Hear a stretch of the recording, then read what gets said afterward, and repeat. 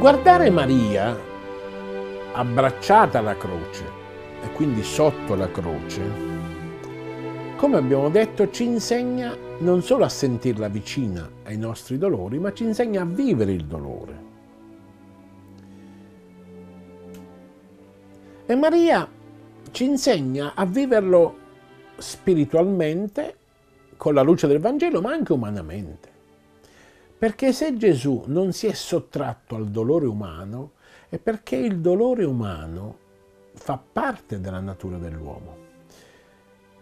La capacità dell'uomo di saperlo vivere e la capacità del cristiano di viverlo in Cristo e per Cristo, questo è o sono i valori aggiunti, potremmo dire. Questo è ciò che ci fa fare del dolore uno strumento di crescita umana, di maturità umana, uno strumento di apertura all'amore e quindi anche uno strumento di santificazione. La sofferenza è qualcosa di inevitabile quando viene. Se da un lato non ce la dobbiamo cercare, dall'altro lato prima o poi bussa alla porta della nostra vita. E la sofferenza ha un grande significato.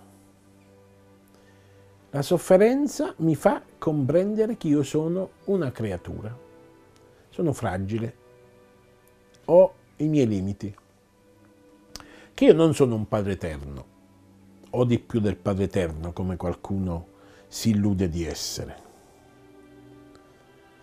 Quindi la sofferenza fa parte del mistero della vita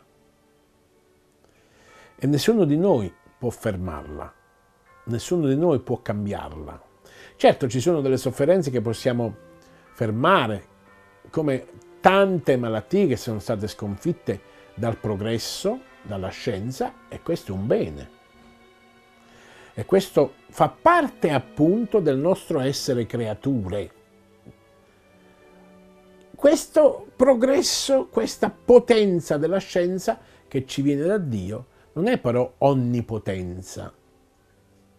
Non è onnipotenza, perché ancora oggi, ahimè, ci sono tante malattie che non si riescono a sconfiggere. Oppure, come fai se io non voglio vincere una sofferenza spirituale. Anche molte volte le malattie psichiatriche, bene, le medicine non sempre risolvono i problemi, sono importanti, vanno prese, ma una persona deve vivere con quella sofferenza. Quindi la sofferenza è inevitabile. Poi noi, guardando a Maria, dobbiamo imparare anche ad evitare le sofferenze inutili. Quali sono le sofferenze inutili? Guardate, ci sono sofferenze soprattutto spirituali, ma anche fisiche, che noi ci procuriamo e quindi sono inutili. Per esempio, le sofferenze che noi ci produciamo interiormente quando siamo invidiosi, siamo gelosi, quando odiamo, quando siamo rancorosi.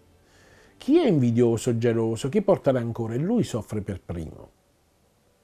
Ci sono sofferenze inutili che derivano per esempio dagli attaccamenti a cose, al potere, ai soldi e ci fanno star male. Ci sono sofferenze fisiche che per esempio noi ci procuriamo attraverso un cattivo stile di vita, una cattiva alimentazione, eccetera, eccetera. Ma Maria quindi ci insegna ad accogliere la sofferenza che è inevitabile, ma anche ad evitare le sofferenze inutili. E poi mi piace chiudere con questo pensiero. Maria ci riporta allo scandalo della croce, perché la croce è uno scandalo, ma è in quello scandalo che c'è la nostra salvezza.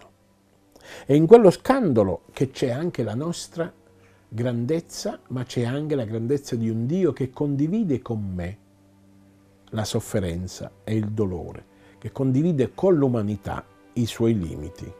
E questo è bello, sapere che Dio è sempre dalla nostra parte. Noi ci vediamo domani, Padre Pio TV, dritto al cuore.